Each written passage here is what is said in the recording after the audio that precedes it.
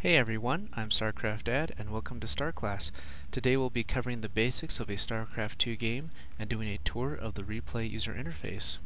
So a game of competitive StarCraft 2 is played between two teams, a red team and a blue team. Usually each team is composed of only one player.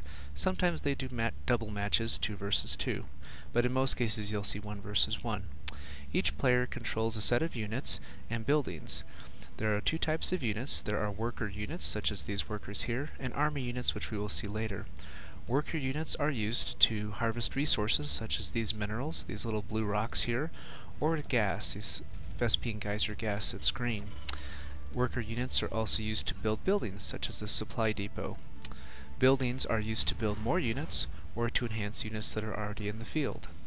The basic flow of a game is a player uses units to build a base, uses that base to build an army, and then uses that army to attack the other player.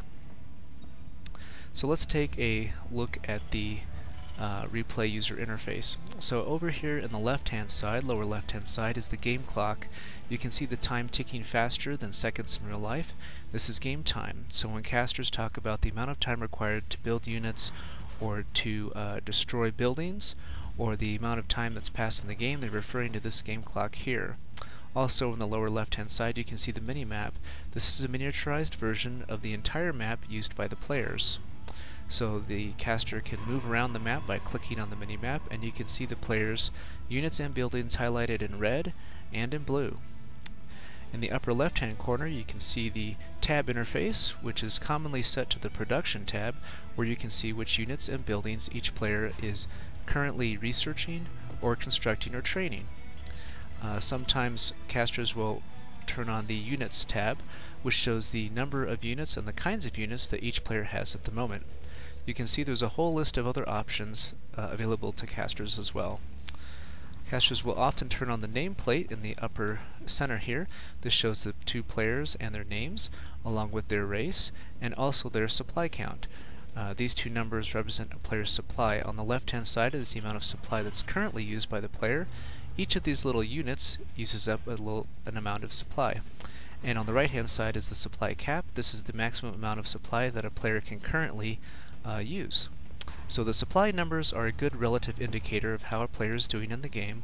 So we can see right now that these players are relatively even with perhaps player 2 having a slight lead.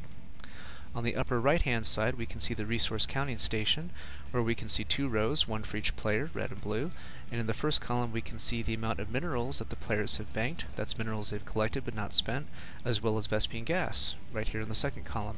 And the third column is a miniaturized version of the supply count here. On the lower right hand side we can see a control that the casters can use to pause the game or play the game, uh, speed uh, up and slow down the game speed, as well as fast forward and rewind. Often they'll have this at a minimum collapsed or sometimes covered with some sort of promotional banner. So we'll slow down the game a little bit here. So in the lower right hand corner you can see the uh, command box which shows the different types of commands that you can issue for the unit selected or the different kinds of buildings and technologies that can be built from a building that's selected as you can see here. So here in the middle we can see the information um, area which shows here we can see that this marine is being built and the progress towards that or for a unit you can also see some other stats about them and most importantly their hit points here. Casters can also turn on the hit points on the screen so you can see the hit points of all the units visually, graphically on the screen. And uh, casters can also uh, switch to the vision of each individual player. So here we can see the vision of Q Phoenix, and if we go over here and select on the blue player's unit or building, we can see the vision of that blue player. So here we can see that the blue player can't see this red army coming up to attack. And then here we can see that the red player does not know what kind of units or buildings are in the opponent's space.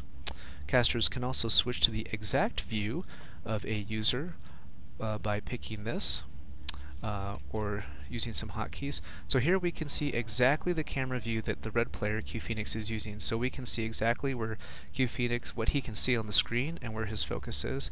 And we can switch it over to the blue player. The blue player being a computer, it's not very interesting.